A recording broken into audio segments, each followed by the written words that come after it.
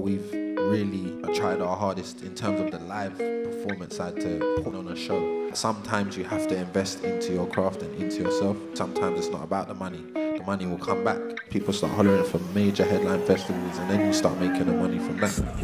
Obviously, I never had a job or anything when I decided to do this. I literally said to myself, this has to work. I didn't think, like worry about oh, making peas doing this or let me go do this. No, I made sure that my next income is going to be from music, and that's that's what got me the mentality of just making it happen. Sometimes you got to force the progression, and that's that's what it was for me. Yeah.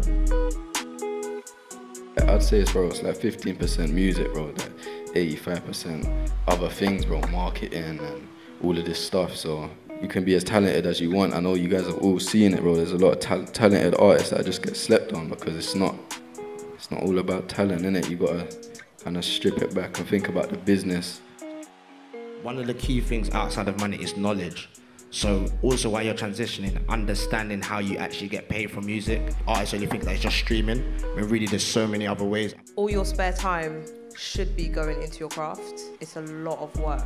It was amazing. I had a great time. I met some really cool people, people you wouldn't meet ordinarily. If I didn't come today, the connections that I would have made would not even exist. If you want to get into music, you probably should come. yeah.